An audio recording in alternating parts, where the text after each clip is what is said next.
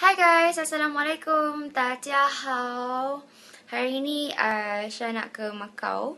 Uh, so sekarang Syah baru lepas packing semua everything semua nak um, ke airport. So uh, korang semua take care. Syafiq Syahir Syuada uh, jaga mak and atuk and nenek and wan semua. Uh, jagakan all the cats. Uh, and to all Shilalas, uh, thank you so much for supporting me. Uh, korang semua take care juga and doakan Syah kat sini, okay? Bye! Assalamualaikum!